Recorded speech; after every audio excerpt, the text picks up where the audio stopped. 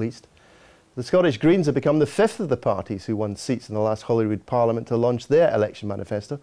They're promising a radical alternative to the UK government's spending cuts and renewing their commitment to independence. But will voters be put off by the prospect of a tax increase, even if it's only a halfpenny for Scotland? I'll be asking their party leader Patrick Harvie in a moment, but first here's Kenneth MacDonald.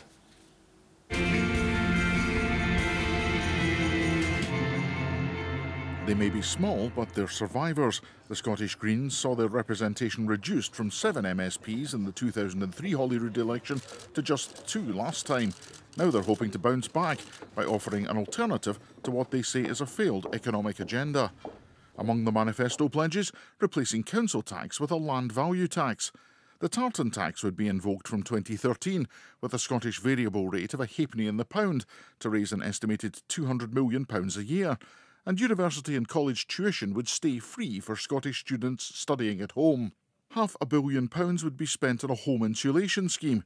The Forth Bridge replacement and the Aberdeen bypass would be cancelled, saving 1.8 billion, and Scotland's energy needs would be met from renewable sources by 2020. We must defend Scottish public services from the savage cuts that have been imposed by Westminster. I think this is very important to the private sector too, um, as it's people who are employed in public sector who who buy products, who go out to restaurants, who keep the Scottish economy going. We mustn't forget that. The Scottish Greens also want to see the restoration of large scale ecosystems like peatlands, and they're resolutely pro independence. They want a new convention on devolution. Well, Patrick Harvie is the co convenor of the Scottish Green Party, and he's here. Uh, now, your flagship policy is to put up income tax. That should have them rushing to the booths to vote for you our flagship policy is to oppose the UK government's cuts, which will be profoundly damaging to our society. It'll worsen inequality. It'll be damaging and risky to our economy and any prospect of recovery. Right. And it'll be damaging put, to the environment as well. Why do you want to put people's taxes up? What we'd like to do is raise more revenue from the wealthy and from bigger business and save money for most ordinary households and for small businesses. We can close the gap between rich and poor, which has grown so wide over right. recent decades but, but, but and grew even what, wider what I find in the recession. Odd about, uh, what I find odd about this is that you have an analysis of the financial crash which basically says look, we should be spending to some extent our way and investing our way out of recession, Indeed. not just cutting Absolutely. public spending. Now, most people who agree with you would say that in the short term to put taxes up is actually a really bad idea. I mean, people well, on your side well, would say it's a bad idea. Well, I don't think so. There's been an oh, opinion poll just in the last few days that says the majority of Scots agree with the idea no, of I'm raising not revenue opinion. What I'm talking about is economists who agree with your analysis of the crash would say that, yes, invest your way out, by all means borrow more, but don't put taxes up when, when spending is depressed.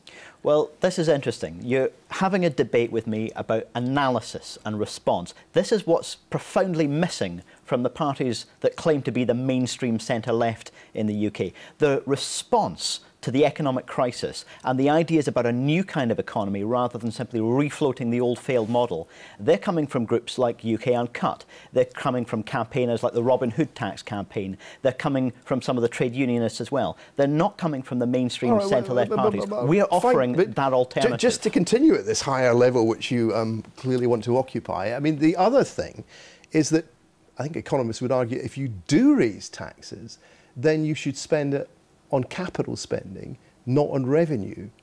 Yet something like half of the plans that you have for the extra money you want to raise are actually on revenue spending. Well, it is a balance. We've talked about a, a, capital investment fund for public transport, for example. We've talked about reversing the cuts to housing. You know, the, the capital investment that's been taken away from housing is profoundly damaging. But we are, yes, also talking about revenue because we're all okay. aware of household bills being under Briefly, pressure. What's you know, a hotel tax? Well, the idea of a, a, per bed charge, some European cities and American cities do this without having any damage to their tourism industry, but they're able to raise some, some revenue locally to invest in public services. I think if you speak to hoteliers at the moment, they'll tell you they're finding it difficult to get people sleeping in their beds overnight without your tax? The evidence is pretty clear, I think, particularly from the States, that a, a small charge, a pound or two per bed per night, is not going to be a disincentive to anyone who's making a booking for their holiday, but it can be an additional source of revenue. We're not committing to that. We're saying let's consult on giving local authorities the option both to raise revenue fairly and progressively from people who can afford to pay, and indeed Uh, or right. to borrow to invest in things like publicly owned renewables, a source of revenue that no future government can ever take away. Right, from the highfalutin to the down and dirty, what is your ambition in this election?